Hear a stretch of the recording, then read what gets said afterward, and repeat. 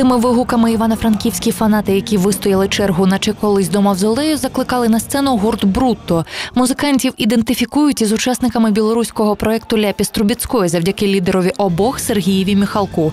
Це ім'я й збирає повні зали. Та пісень самих Брутто, яким лише сім із половиною місяців, поки що майже не знають. Я, якщо чесно, на цьому новому колективі не був ще ні разу, тому я прийшов. На старих ляпісах я був кучу разів. Я і наживо їх почую вперше, і так почую вперше.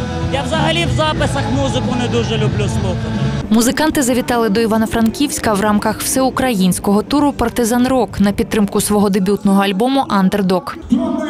Бруно! Что мы хотим? Что было круто? Кто мы? Бруно! Что мы хотим? Что было круто?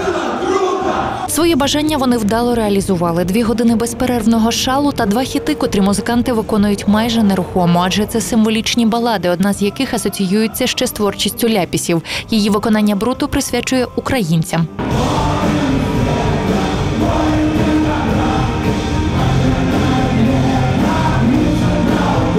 Недівчача музика, попри те, приваблює чимало представниць прекрасної статі, не в останню чергу з патріотичних почуттів. Не так, щоб дуже слухачка року, але просто ці події, з якими зараз були зв'язані в Україні, і вони взагалі, ну